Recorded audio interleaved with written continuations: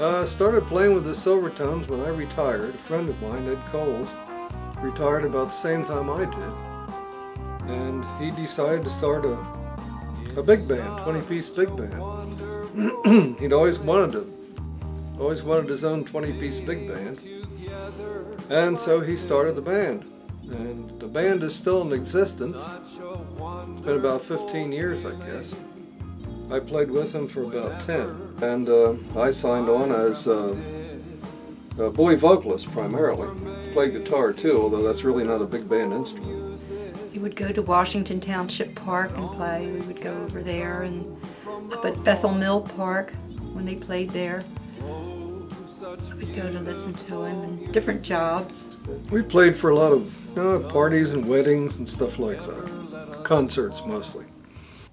I was talking earlier about uh, performing with a, a, band called the Sentimental Gentlemen. It was just a, uh, that was a nursing home band. Ten pieces when everybody showed up. I played with them for about 10 years with the Sentimental Gentlemen. Um, we had one guy, Eddie Broomall, with a superb voice. Eddie Broomall could have sung with any big band of the 40s if he had been able to count. Couldn't count. He would he would sometimes give a whole note uh, two beats, sometimes three, sometimes five. You never knew. He could hear a song over hear a song and five thousand times still not, not do it. Still not know how to sing it in time with the music. I used to introduce him as the last remaining uh, member of the Broomall String Band. He was the last original. He's the family of the Yeah, he's the Broomall, Broomall String, String Band. Band.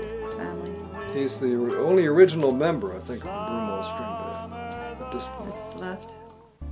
Frank Barry, the guy that does All By Myself, he was 92 when we recorded that. Yeah. And uh, he, he was just superb.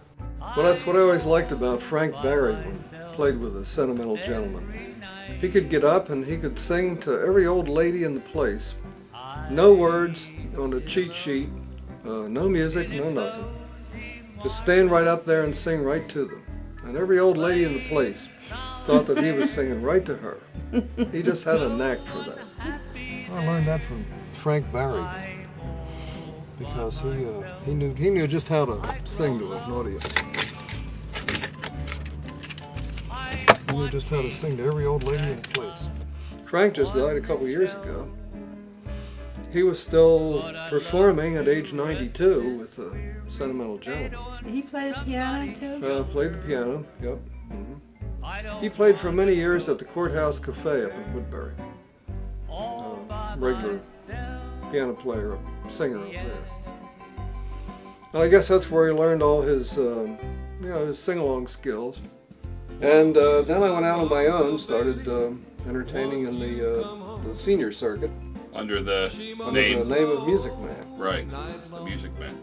And I started out getting the uh, the canned backgrounds, the karaoke type backgrounds. I know. But I didn't like them. I didn't like most of them. Just weren't. Some of them were okay, and some of them weren't. Uh, But for the most part, they weren't the songs I wanted to play. So I bought myself a keyboard, one of those uh, keyboards where you can play chords with one finger and bass lines and all that stuff. Right. And I thought, boy, this is great. So I started making my own backgrounds. And they were okay, except that uh, they, they, they lacked something. And Jim Cheadle put uh, piano tracks on top of my tracks. And he also put Hammond M3 tracks Use this organ. uh, right here, this, this Hammond M3, and, and they came out very good. They really, considering how we did them, they came out awfully good. Uh, we didn't do them in the studio. Uh, some of some of my backgrounds are the ones your dad did, or Jim Cheadle did in the studio, and uh, they complement mine uh, real well. I mean, they, all all of them are good backgrounds. Uh, mine wouldn't be all that good without all the extra stuff that Jim put on them, the Hammond tracks and the piano tracks. Remember the first one we did? What was it? Blue Bill Moon? Bailey, won't you please Bill- oh, come Bill home? Bailey. The first one we did was Bill Bailey, won't you please come home? He'd never heard the song before, had no music, and sat down and played the piano part uh, one time through, uh, just the way I use it all the time. Came out perfect. It's amazing. Takes takes real talent to do that. He's learned a whole new repertoire. He's learned a lot of songs he never heard. I've learned so many new songs from you. That's right. You have a whole new repertoire. That's right. That's You, for you, sure. you could go out on the senior circuit.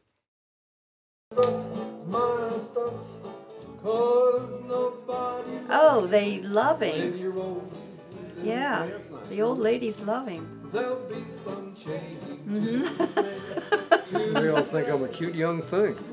Do they, uh, no, they they like his kind of music because they're familiar with his music. They know every word to every song, and I think it um, sparks something in them that is in their memories, and and they tap their feet and clap their hands. Yeah, they they really like the uh, kind of rhythm that he plays. Half of it is whether they like you. The other half is mostly whether they like your music. If they like you and like the music you do, then that's, that's most of it. I think they love him. I, but I, again, I've never been to one of the shows, but from what I'm told, that uh, Harry is the music man. They, they love him. They love to have him come entertain them.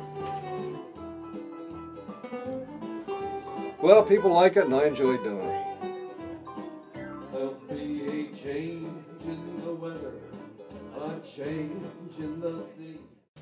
Yeah, I'm getting the sign that I better, uh, I better quit here. Are we- can we do one more? Okay. We'll do one from uh, the year 1929 to end with.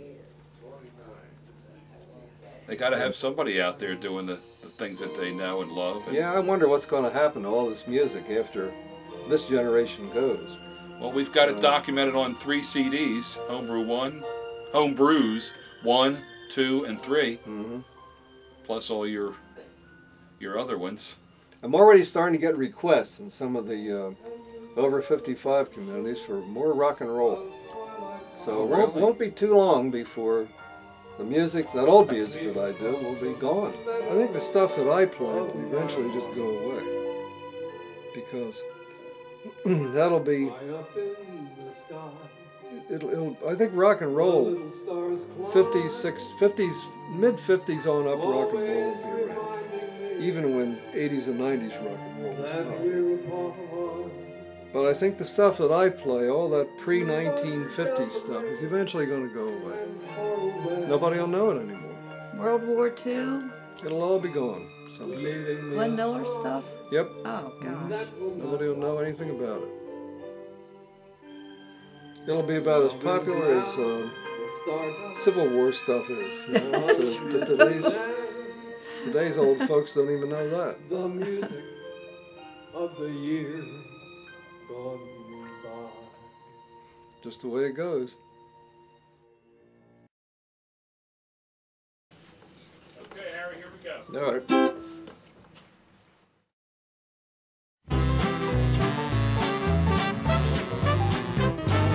Ain't she sweet, just coming down the street? I ask you very confidentially, ain't she sweet? Ain't she nice? Look her over once or twice. Ask you very confidentially, ain't she nice? Just cast your eye in her direction. Oh, me, oh, Harry's a good musician, and, he, and, uh, and his voice now, you know, when I listen to him sing now, he, he's his voice is fantastic, and his and his guitar playing abilities. Confidentially, ain't she sweet? Well, five foot two, eyes of blue. Oh, what those five foot can do. I can honestly say that my pub up is basically the only reason that I really got involved in music. Um, he bought me my first piano, he bought me my first guitar, he paid for all my music lessons. Um, he got me involved, involved with music at a really early age. Now, if you run into a five foot two covered with fur, diamond rings and all them things, bet your life it isn't her. Oh, could she love? Could she woo? Could she, could she, could she coo? Anybody seen my gal? Well, five foot two, eyes of blue. Oh, what those five foot can do. Anybody seen my gal? Turned up nose. He's just been a huge influence, and uh, I can't really imagine that I'd be involved with music uh, if it wasn't for my pop-up. Now if you run into a five foot two covered with fur, Diamond rings and all them things, you bet your life it isn't her. Could she love, could she woo, could she, could she, could she coo? Anybody seen my, you know what I mean by, anybody seen my gal? Da da da da da da